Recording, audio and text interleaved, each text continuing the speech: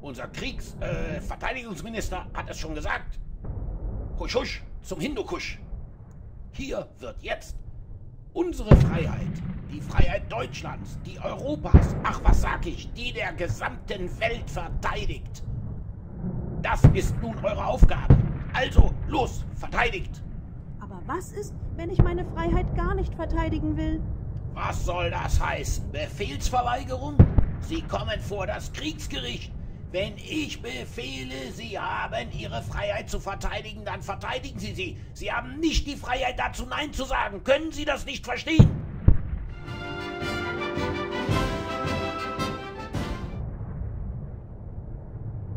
Ich glaube, wir bekommen bald Verstärkung. Wieso? Sie machen jetzt überall Werbung.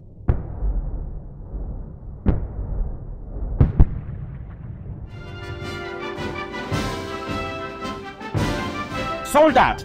Jawohl, Herr Hauptmann. Bringen Sie diese Wunderwaffe sofort an die Front. Lassen Sie sich von nichts und niemandem aufhalten. Das Schicksal der Nation hängt von Ihnen ab. Jawohl, Herr Hauptmann.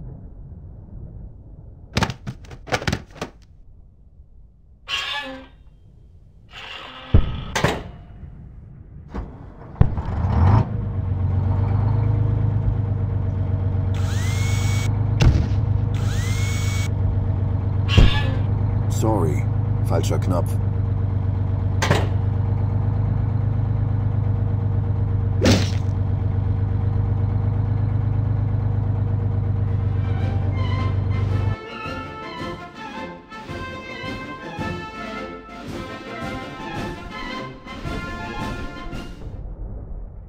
Nach dem Krieg wird man uns auf Händen tragen, hat man uns versprochen.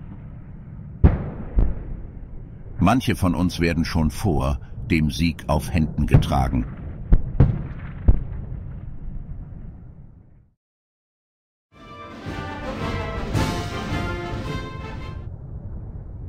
Hm, ja, okay.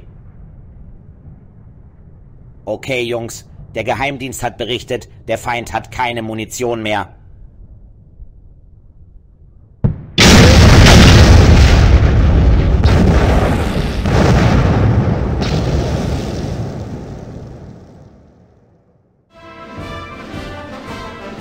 Liebe Mama, lieber Papa, bitte schickt für meinen Kameraden und mich zwei warme Winterpullover.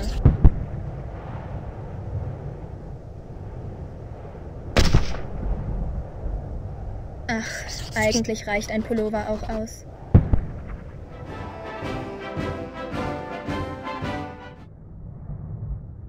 Diesmal wirklich? Okay, danke. Der Geheimdienst hat berichtet, der Feind hat keine Munition mehr. Diesmal ist es ganz sicher. Ihr könnt ohne Gefahr angreifen. Ich muss mal mit dem Gemeindienstchef sprechen.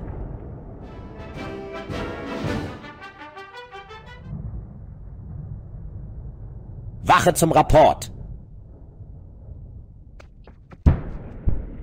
Gab es besondere Vorkommnisse diese Nacht? Moment, ich hole meine Unterlagen.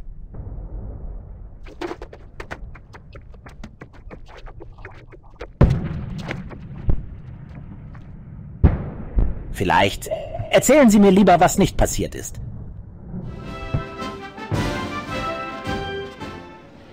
Und darum, Kinder, müssen wir diese slawischen Untermenschen vernichten. Tretet jetzt der Truppe bei, damit auch ihr dabei sein könnt. Draußen warten Panzer zum Spielen auf euch. Ihr mögt doch den Leo, oder? Und leckere Lollis gibt's auch dazu.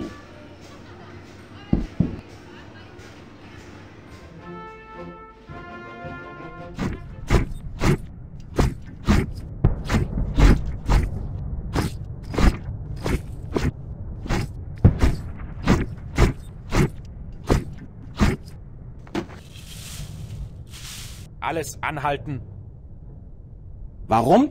Na, wegen der Krötenwanderung.